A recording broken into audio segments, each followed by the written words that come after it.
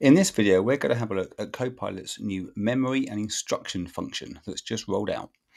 So I'm signed in as my work account and I've got an AI insights paper that I've got from the UK government website and I'm going to ask Copilot to summarize it just to show you what happens by default. I'm just going to use a standard prompt, please summarize this document. So when I ask Copilot to do that, it does a pretty good job. It's putting this together it's given me an output. It's quite nice. It is quite punchy by default. Uh, it's given me a good answer. It's going to ask me for some other things that I may want to do. Now, that's great, but if I want this presented in a slightly different way, or if I always want the output presented in a particular way, then I need to tell Copilot every single time. Well, now what I can do is use the memory function and instructions within Copilot to teach it a little bit more about the way that I like to work with it. So to do this, what I need to do is head over to the three dots uh, at the top right of the screen. I need to go to settings. I mean, here you'll see this personalization section. So I have this ability to provide memory, to give it memory. Uh, to do that. So you'll see if I click on this, then what I can do is while I'm chatting with Copilot, I can ask it to remember personal things. So I can say to it, remember that I like this, remember that I like that, etc., etc. Um, and this just helps Copilot to improve. Um, I can turn the memory off. Uh, one note: if you turn it off, it will erase its memory. When you turn it on, you'll need to teach it all over again. But it's a useful thing to do. Also, probably quite good practice just to ensure you're cleaning things up and you haven't told it to remember things that you then think later on to go back to.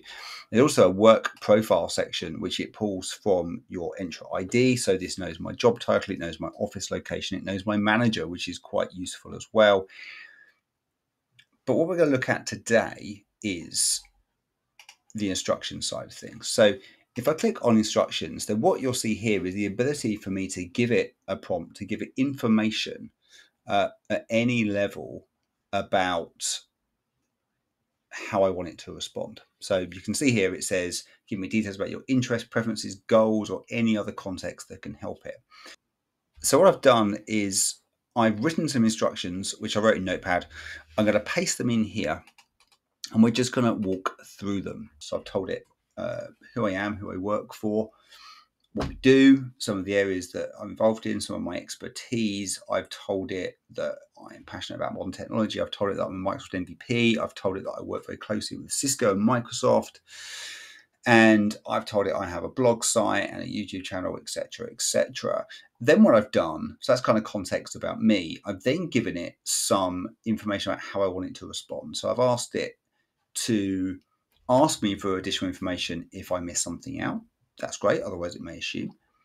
Uh, if it's not sure what it means, then tell me, right? And ask it to clarify. If you don't know something, tell me, don't make things up. So you can kind of see I've been quite clear in some of the instructions I've given it. I mean, I've asked it to start every response with a three to four line TLDR, so short summary, and then a precise and concise answer to my questions. Where appropriate, I've asked it to give me uh, examples of different business cases to help and to only use UK based examples where possible with stats to back it up.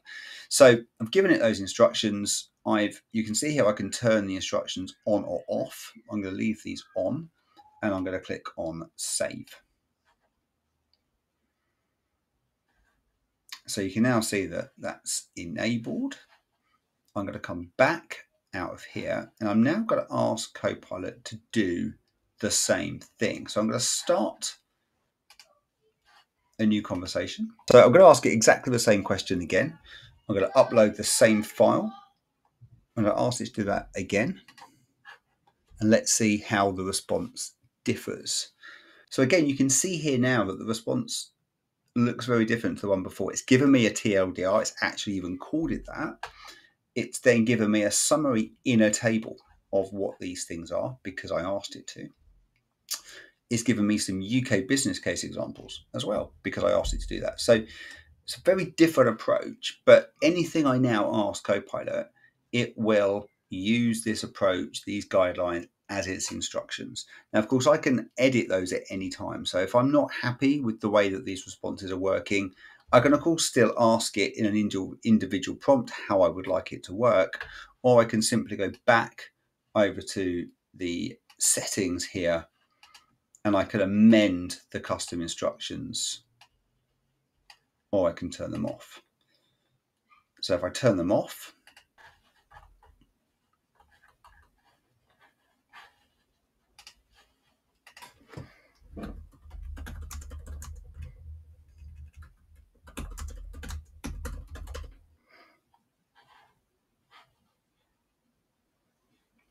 So if I go back, ask it to summarize the document again, then